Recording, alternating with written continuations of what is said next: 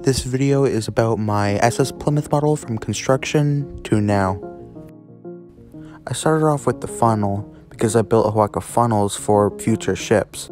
Here is the bow that would later become the Plymouth. You can see that there's a lot of details that I was adding, little things here and there. Later they'd be taken off for uh, better details, but at the time this is, was what the uh, best I could do. Um, lots of things are different, hatch covers, all that's gone, but this was just the beginning of what would become the Plymouth. This would become the superstructure on the ship, like the crew cabins and uh, stern galley, I believe. Here you can see her with the SS New Oak, which has been a scrapped model. Here's her getting her funnel attached to the ship for the very first time.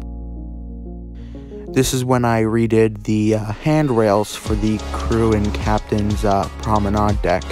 In my opinion, it looks way better than it did.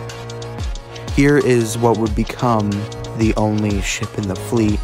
Both of these uh, ships are either scrapped or sunk, but I'm glad I still have the Plymouth model.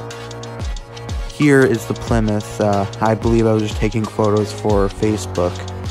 Just uh, some nice shots of the ship. And one thing I want you to do is watch the ship in these photos change dramatically. This is when I changed the hatch covers uh, on my Plymouth model. And this is when I added uh, string and I believe the lifeboats. In my opinion, the details on this ship are really, really good. Here's a close-up on the dome casing when I redid it.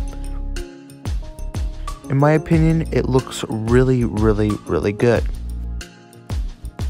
And now, the rest of these photos are just little photos here and there that I've posted uh, on Discords and uh, Facebook and update groups.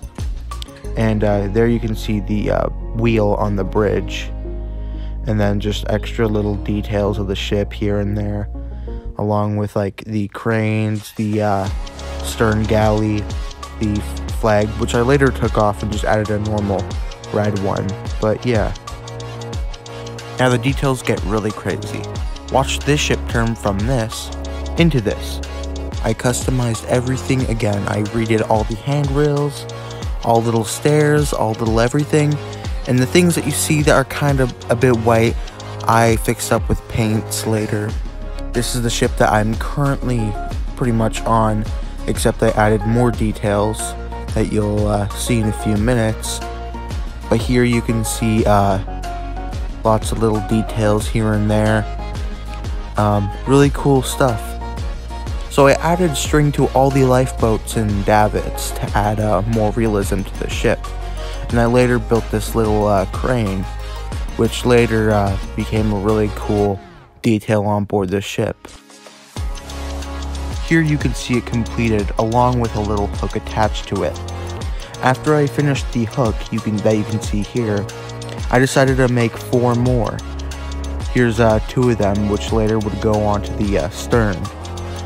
But here you can see uh, the two I added for the front, and uh, the two I made for the back. Pretty cool stuff in my opinion. Thank you for watching. I apologize for the little tab in the bottom of this video. But anyways, thank you guys for watching. Please like and subscribe and I'll see you guys in the next video. Goodbye.